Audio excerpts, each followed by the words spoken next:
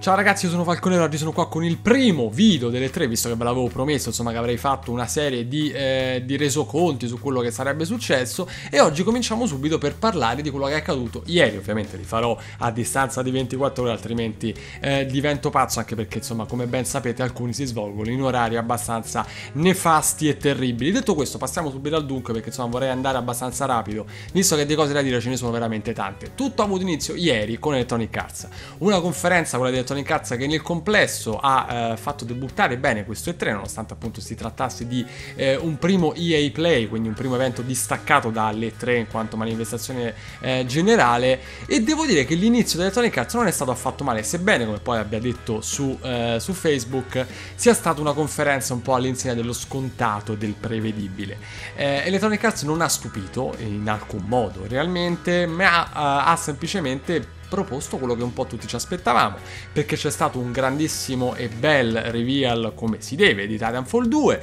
che avrà una campagna single player per la prima volta, per cui ci sarà un po' di carne al fuoco per tutti, non solamente per gli appassionati di multiplayer online, eh, e devo dire che quello è stato un po' uno dei, dei punti più alti dell'intera conferenza. Al di là di quello, diciamo che la cosa più bella, forse in assoluto, che Electronic Arts ha mostrato è stato FIFA 17. FIFA 17 che è stato accompagnato da un sacco di bellissime promesse, come eh, sempre succede. Non tutte probabilmente verranno mantenute, ma la cosa che più mi ha colpito e che sicuramente avrà colpito anche tutti voi appassionati eh, è sicuramente la modalità storia, questo The Journey, questa, ehm, questa, avventura nel mondo del calcio giocato che ci vedrà vestire i panni di un giocatore del tutto inedito, inesistente, eh, in un vero e proprio film interattivo a sfondo calcistico che ci vedrà giocare per una squadra di Premier League e diciamo vivere tutta la nostra nostra carriera nella Barclays Premier League. Insomma, una cosa nuova, una cosa inaspettata per quanto mi riguarda, eh, sebbene ci fosse un sacco di voci prima delle tre. Una cosa che mi ha colpito e che non vedo l'ora di provare, anche perché sarà interessante poi portare anche la cosa sul canale, credo, quando sarà. Eh, detto questo, io poi ho gli appunti di lato perché qualcosina mi sono dovuto segnare se non mi scordo.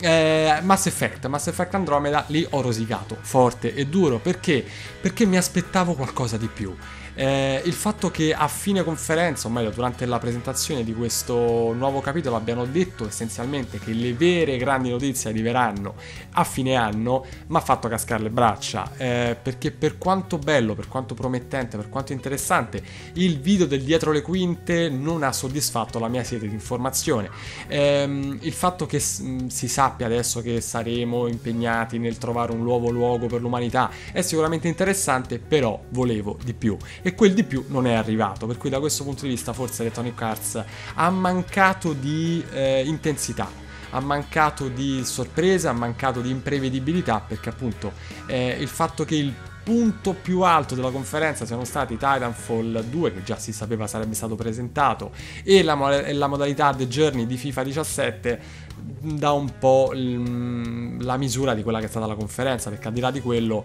eh, non è che ci sia stato granché, a, a, parte ovviamente, scusate, dimenticavo insomma il pezzo forte Battlefield 1, gioco sicuramente eh, molto promettente, ci porterà nella prima guerra mondiale come forse poche altre cose hanno saputo fare, altri, pochi altri giochi hanno saputo fare nel corso degli ultimi vent'anni, eh, però diciamo che di Battlefield 1 già si sapeva praticamente tutto, eh, non ci sono state tutte queste novità esclusive per gli A-Play, eh, non si sono tenuti niente di particolarmente grosso in canna per sconvolgerci, per cui altra grande eh, presentazione ma che ha mancato di effetto sorpresa. E in questo senso forse anche Bethesda si è un pochino allineata stanotte, perché pure la conferenza Bethesda è stata sicuramente buona, sicuramente ricchissima di cose, ma al di là del nuovo Prey è mancato anche lì un pochino l'effetto sorpresa. Sicuramente il fatto che abbiano annunciato tre nuovi DLC di Fallout eh, non può che far piacere, sebbene appunto il fatto che Fallout stia diventando un pochino più ehm, sempre più simile a The Sims, perché queste mille mille espansioni sono oggettivamente un po' troppe, secondo me, non voglio magari bestemmiare occhi di, alle orecchie di molti, ma secondo me stanno un pochino camminando su quel filo sottile che divide il fanservice dalla mungitura del consumatore. Per cui un, un pochino mh, mm, non so ancora che cosa pensare, dovrò vederli di LC per bene. Quel poco che hanno fatto vedere fino adesso fa sicuramente ben sperare, ma sembrano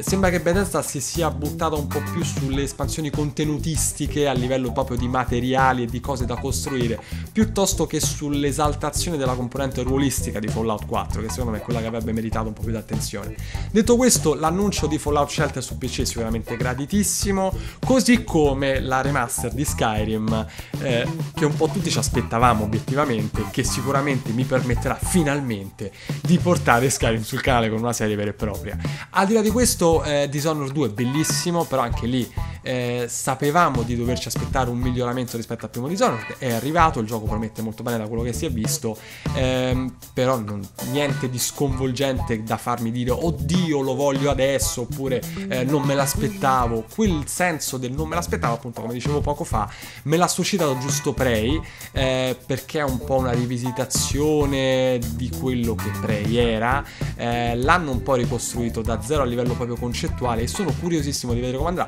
però parliamo pur sempre di un prodotto che si vedrà tra un anno se tutto va bene, per cui anche da questo punto di vista forse eh, è mancato appunto l'effetto sorpresa. Detto questo ragazzi io sono curiosissimo di vedere cosa accadrà oggi eh, perché tra Microsoft, Sony, Ubisoft, eh, la conferenza PC insomma ci sarà tanto da vedere, tanto da scoprire, spero anche qualcosa di inaspettato, ci sono stati un po' di leak tra cui Dead Rising 4, State of Decay 2 che avevo preventivato e di cui eh, insomma speravo tanto arrivasse l'annuncio Speriamo che insomma le cose vadano come speriamo, che gli annunci non ci riservino attese interminabili per il futuro, però comunque sia, sembra che le 3 sia cominciato abbastanza bene per il momento, sebbene almeno per ora sembra che la manifestazione di quest'anno faccia rima, appunto come dicevo su Facebook ieri, con un po' di prevedibilità. Eh, ad ogni modo ragazzi fatemi sapere cosa ne pensate voi, eh, sono curiosissimo appunto di sapere che impressione sta facendo a voi questo E3 per il momento e incrociamo le dita per quanto riguarda i prossimi giorni. Noi ci vediamo domani ovviamente con un altro video di riassunto, chiacchierata varia su quello che sarà successo, per cui ragazzi alla prossima.